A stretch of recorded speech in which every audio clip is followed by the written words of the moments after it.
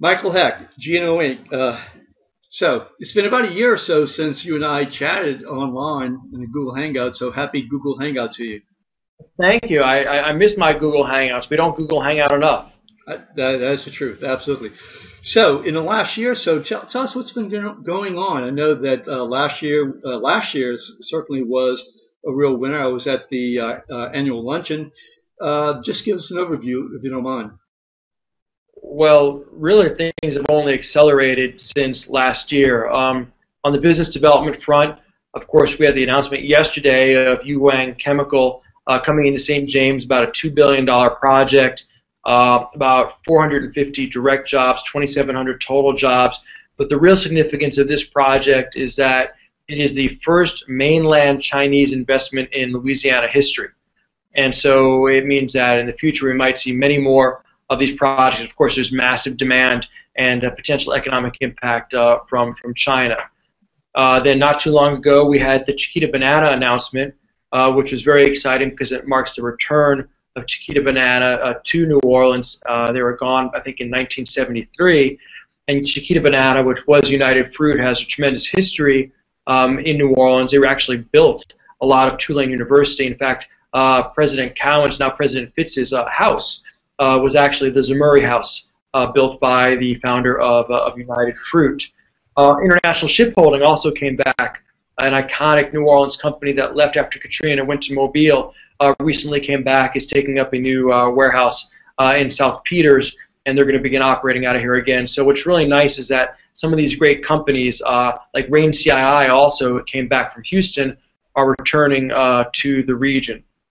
And going forward, we're going to have many more announcements uh, in technology, in heavy industry, and so forth. Um, also, last night I was at an event sponsored by Boeing celebrating that the mission to Mars is being built uh, at Michoud. What's happened at Michoud, Stephen? Um, you know, we were worried sure. a few years ago the space shuttle was ending. We didn't know what the future was going to hold for math.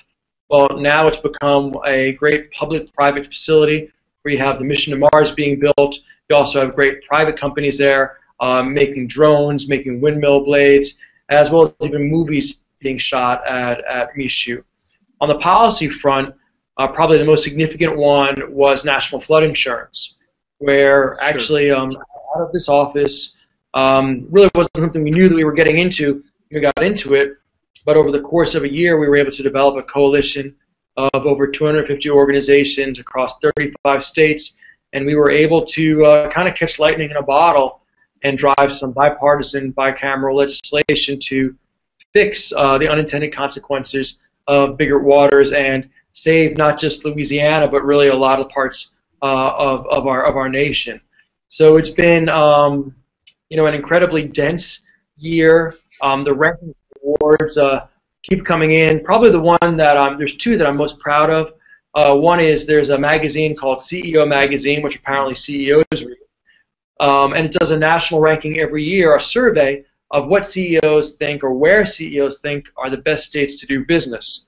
Uh, now, can you guess what state wins every year for the past 10 years? Uh, North Dakota.